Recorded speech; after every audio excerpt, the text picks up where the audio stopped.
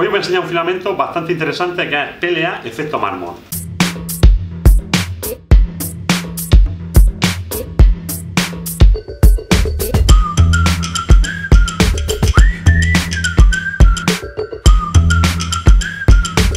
Muy buenas fundidores, bienvenidos a Maker 3DP, mi nombre es Miguel Ángel y como he dicho al principio del vídeo os voy a enseñar un PLA efecto mármol que es bastante interesante, seguro que si lo veis y lo podéis probar os va a encantar.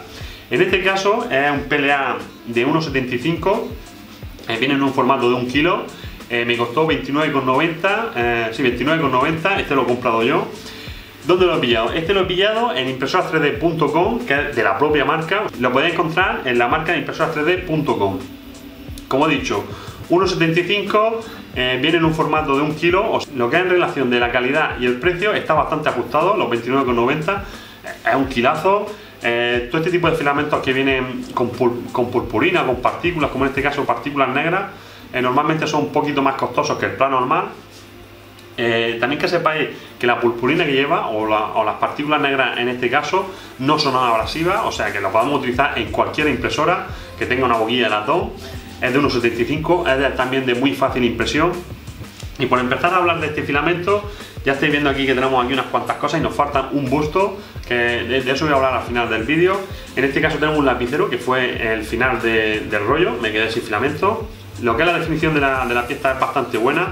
No puedo hablar de lo que es la definición de las capas porque no se ve, es que no se ve, no se ve las capas, la verdad que, que es de los que más he visto que, que disimulan lo que es la capa. Muy muy guapo. En este caso fue eh, parte del ventilador que estoy haciendo con Oscar de Bricoquí. Esto intentaré reutilizarlo, no sé qué haremos con ello, os lo mandaré a, a para que lo triture con la UPE, a ver lo que hacemos con eso. En este caso también estáis viendo aquí, por ejemplo, un jarrón a un perímetro. La verdad que quedó perfecto, ahora os enseño lo que hay en imágenes. Las capas, las capas no, porque no se puede decir las capas, porque la verdad que sí es que si te acercas no lo ves casi. O sea que la definición fue bastante buena.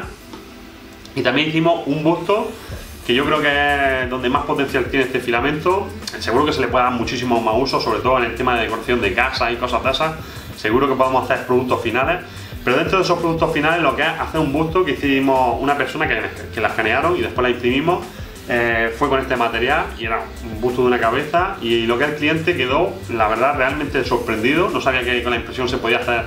Él había visto unas cuantas piezas de unos cuantos llaveros y cosas que le habíamos dado y entonces mm, se quedó muy sorprendido en el tema de las capas porque no la vio, no la vio y se fue muy muy contento. En este caso, por ejemplo, eh, muchos conocemos a SAP 3D, Sergio, un recuerdo a Sergio y a, sus socios, que hacen el tema de gusto, que escanean a personas y después lo imprimen, los pintan y toda la historia. En este caso, si tuviera que recomendarle a alguien este filamento, se lo recomendaría a SAP 3D, porque seguro que podrían hacer piezas finales sin procesado, directamente hacer bustos, lo que es en mármol para los clientes.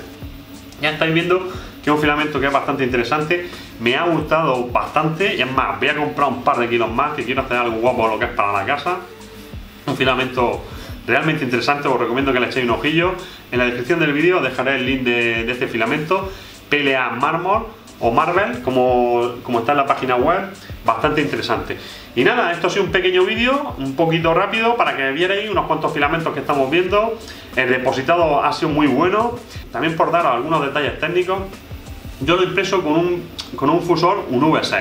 Lo digo porque entre un fusor y otro puede haber variaciones, pero bueno, dentro del, fusor V6 lo he impreso a 205 grados, a una velocidad de 50 milímetros por segundo, seca bastante rápido, muy muy rápido. Eh, la cama a 50 grados, eh, tiene muy buena adhesión, o sea, warping, olvidado de warping, cracking ni hablamos, aguanta muy bien la tensión térmica, a la hora de depositarlo, por lo que he dicho, seca bastante rápido y vamos a tener muy buenas definiciones, por, ejemplo, en piezas que tengan esquina y cosas de esas, va a quedar bastante bien definida la pieza. Y esto ha sido todo en este vídeo, que era simplemente para enseñaros este PLA efecto mármol de impresora3d.com, bastante interesante, os lo recomiendo que le echéis un ojillo.